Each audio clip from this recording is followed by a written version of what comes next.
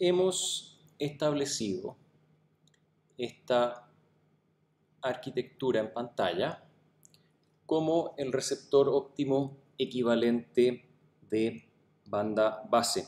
Y lo que queremos hacer en esta cápsula es estudiar esta variable de decisión en algún detalle. Y para eso, eh, lo mejor que podemos hacer es simplemente repetir un cálculo que ya hemos realizado numerosas veces, que es decir, S tilde de t más ñ tilde de t son las señales que se alimentan al filtro adaptado Q de t y todo eso luego se evalúa en t igual a t. Separamos, igual que siempre, em, la suma en dos convoluciones separadas y las expresamos como integrales. Entonces tenemos integral de menos infinito a infinito de s tilde de tau, q tilde de t menos tau de tau, todo está evaluado en t igual a t, más la integral de menos infinito a infinito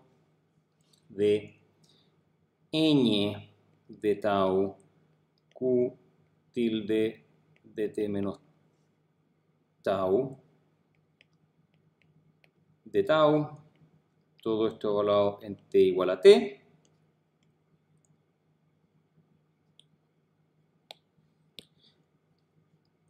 Continuamos ahora reemplazando el filtro adaptado, es la integral de menos infinito a infinito, de S tilde de tau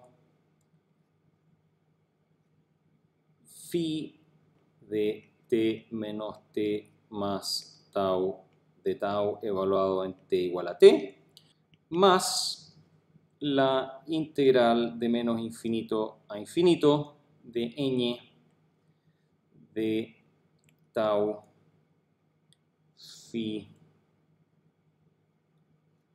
de t menos t más tau de tau y todo esto evaluado en t igual a t. Es el momento de evaluar el valor de t aquí.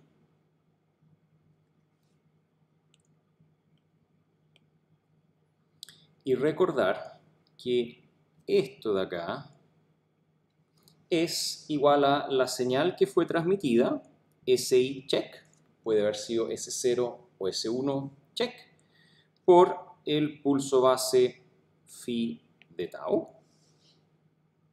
Por lo tanto, lo anterior es igual a la es igual a SI check por la integral de menos infinito a infinito de phi de tau, que es este phi de tau, multiplicado por esto de aquí, evaluado con t igual a t, así que t mayúscula se cancela y queda nuevamente phi de tau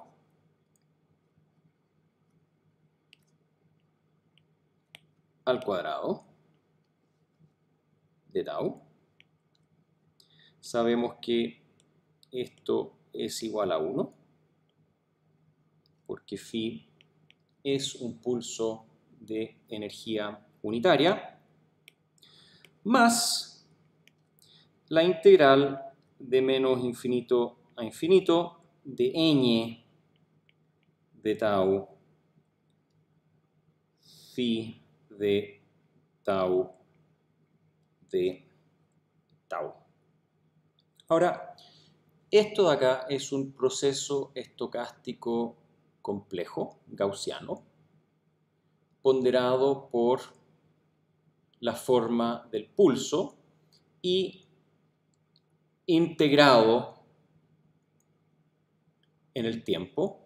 Por lo tanto, esto es una suma de infinitas variables aleatorias y por lo tanto sabemos también que esto resulta en una variable aleatoria y que en este caso es una variable aleatoria normal compleja.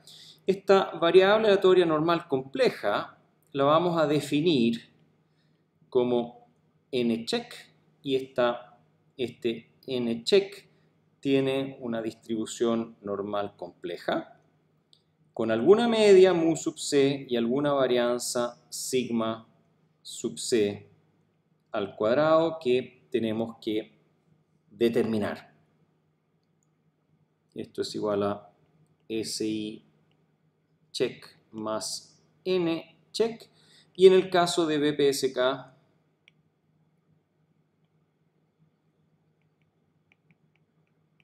esto es más o menos la raíz de e bit. Y lo primero que tenemos que entender en mayor detalle es el comportamiento aleatorio de esta variable compleja, porque finalmente de ello depende la probabilidad de cometer un error y también entendiendo mejor esta variable tenemos eh, las herramientas para poder calcular esa probabilidad de error. Eso es lo que vamos a hacer en la cápsula que sigue.